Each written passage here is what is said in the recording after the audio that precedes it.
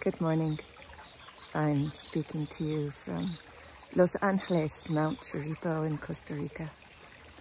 And I want to talk to you about basic goodness. The Buddha said that basic goodness was our birthright. It's who we fundamentally are. It's what we turn to when the afflictions fall away.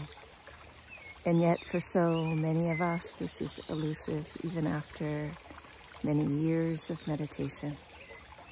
So I feel glad that after so many decades, I have come upon a body of work, attachment theory, and the three pillars, and that this weekend I'm going to be doing a half day retreat that shows a meditation based approach to shifting our working model of how we view ourselves, why this is important, and how to do it, so that the basic sense of goodness, which is who we fundamentally are, is what we can return to.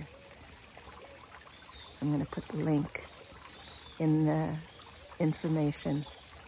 I'd be very happy if you join us. Bye for now.